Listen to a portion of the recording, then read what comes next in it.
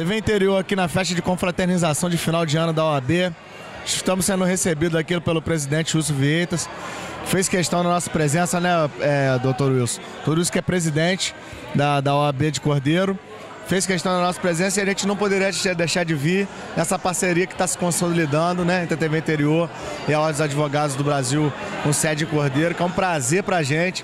Possibilitou que a gente realizasse um projeto que era um sonho nosso de longa data e que deu certo, né, doutor? Acho que foram três programas bacanas e que tem repercutindo muito bem, né, doutor? E claro, estamos aí cobrindo aquilo que importa para a população, como foi o caso lá que você conseguiu a verba e que foi tão importante, a gente pôde discutir vários assuntos também. Fala um pouquinho então desse momento, é, final de ano, um ano que não foi fácil, mesmo como você falou no seu discurso, né, doutor Wilson? Mas que os advogados se unem, se encontram para falar de coisas comuns, né? Boa, boa noite. Primeiramente, uma boa noite aos amigos da TV Interior. Rapaz, prazer de ter vocês aqui, é todo nosso, cara. Porque toda parceria, ela tem que ter uma via de mão dupla. Ela vai e volta. Então, é, a nossa parceria deu muito certo. Você pode ficar tranquilo. A Subseção Cordeiro está sempre de, de, portas abertas para vocês, para vocês realizarem o trabalho de vocês, que é um trabalho sério. É um trabalho que quando a gente vê um programa, a gente visualiza uma situação que pode estar acontecendo comigo ou pode acontecer no futuro. Então, a gente agradece de fato a presença de vocês aqui. É, irmão, foi um ano difícil para a advocacia, um ano difícil para o Brasil, para o nosso estado, para o nosso município, então nem se fala, né? A gente outro dia participou no programa junto com o doutor Luciano, o doutor e o Bruno Guareto. Nós falamos lá das dificuldades, né? mas também falamos das coisas que podem vir a acontecer num futuro melhor que a gente espera para todos nós, para o nosso país. Melhorando o nosso país, nosso estado, com certeza vai melhorar o nosso município. E a Subseção Cordeiro hoje, ela está se confraternizando, é um momento de confraternização, é um momento que as famílias têm que se unir, nós temos que se unir, as pessoas de bem, elas têm que estar juntas, para em conjunto nós conseguirmos chegar num futuro melhor. E hoje nós estamos aqui reunidos, todos os colegas aí, tem advogados do município de Cordeiro, Duas Parras, Trajano de Moraes, Macuco, Rio de Janeiro, Casimiro de Abril, você viu ali, Cachoeira de Macacu. Quer dizer, eu estou me sentindo muito prestigiado. A nossa festa aí tem quatro presidentes de subseções, tem diretores da CAR, diretor da OAB. Então, é um dia de felicidade mesmo. É um dia da gente esquecer aquilo que foi ruim, largar para lá sacudir a poeira e dar a volta por cima. Que é isso que nós temos que fazer. Dificuldade todo mundo tem, irmão. É difícil para todo mundo. Todo mundo mata um leão por dia. O advogado também, porque todo dia ele recebe um problema do cliente dele para resolver. Então esse momento de confraternização é para isso. Para a gente poder estar tá junto dos amigos, esquecer um pouco as coisas ruins e falar um pouco de coisas boas e pensar um pouco para frente, pensar no futuro melhor para todos nós. É isso que a gente deseja. É que momentos como esse proporcionam exatamente essa visão, né? De tal que a gente se pode vislumbrar para o próximo ano, trocar ideia, conversar, entender realidades diferentes. Está propício para isso aqui hoje. É claro, é o momento até que alguns colegas se conhecem. Às vezes tem colegas aqui que nem se conhecem, às vezes. Nesse momento de descontração, às vezes um momento, às vezes numa audiência que teve uma discussão ríspida, alguma coisa, sempre em defesa do cliente, sempre em defesa do direito, mas existe às vezes uma, uma discussão ríspida que nesse momento aqui, nesse momento de confraternização, o colega encontra com o outro e fala, pô, vamos esquecer aquele negócio, aquilo passou, nós somos advogados, nós não somos inimigos, nós estamos aqui para defender os nossos clientes. E é um momento que todos realmente, de fato, se confraternizam. E hoje a nossa família está aqui, né? Minha esposa está aqui, Angélica, minha filha Ana Cecília, minha filha Helena, minha mãe veio de Niterói, minha sogra. Quer dizer, eu fiz questão de trazer a minha família para que todos também trouxessem as suas famílias. Que é uma festa da minha família e da família de todo mundo, da família OAB. É isso que a gente quer construir. Uma classe unida. Porque com união a gente consegue avançar, a gente consegue atingir objetivos melhores para todo mundo.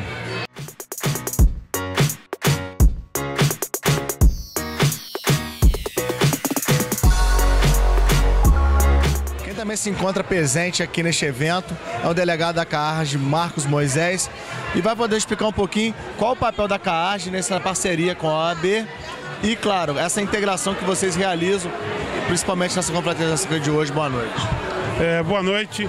É o seguinte, a CARG ela está muito preocupada com a interação e com o trabalho eh, voltado para essa congregação dos advogados na área da saúde, na área do entretenimento e isso eh, faz com que a gente se sinta uma família nós cuidamos praticamente um dos outros. Né? E essa amizade, ela se fortalece a cada ano que se passa. E é um prazer enorme estar aqui é, nesse evento, prestigiando o nosso presidente Wilson, a quem eu tenho um carinho muito grande, né, a ele e a todos os membros da diretoria. E é, uma forma de prestigiar e de demonstrar é, aquele carinho que a gente tem por todos, tanto os advogados, a, a família. Então a CARG é isso, é fazer esse congraçamento para unir as famílias, tá certo? E pensar realmente na, na advocacia como um todo.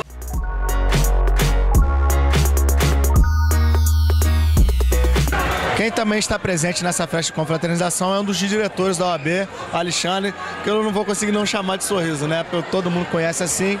Alexandre, é uma festa que contempla os advogados e que reúne é, profissionais qualificados de toda a região. Parabéns pelo evento e queria que você deixasse um recado para o pessoal que está a gente assistindo a gente em casa. É, primeiramente agradeço né, a, a parabenização, agradeço a, a TV Interior por estar tá né, é, é, presente no evento. E mais uma vez, né, eu queria agradecer a todos os presentes, agradecer a todos os advogados que estão participando desse evento, porque é, a gente sempre teve esse objetivo de tentar unir a advocacia, né?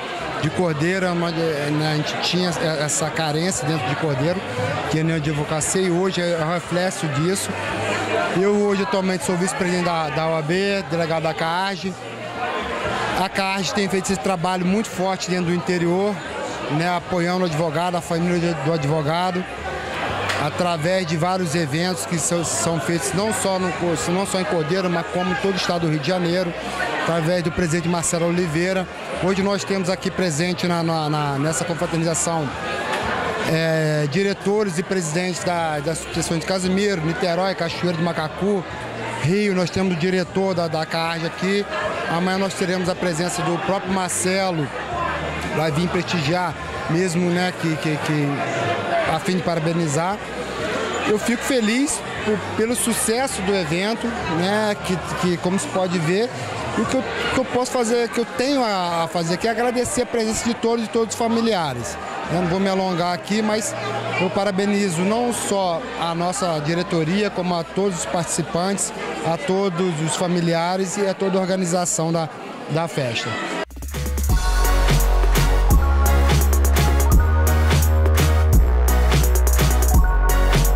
Quem também encontra-se presente aqui nesse evento é o presidente da OAB de, de é, Casemiro de Abreu, Naildo Macabu é, que fez um agrado ali, a mãe até do presidente é, do Wilson Vieitas, né, daqui de Cordeiro. Conta um pouquinho dessa história pra gente.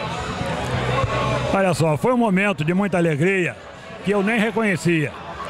A mãe do nosso colega Wilson, presidente aqui de Cordeiro, o período dela de jovem, de professora, e foi trabalhar em Casimiro de Abreu.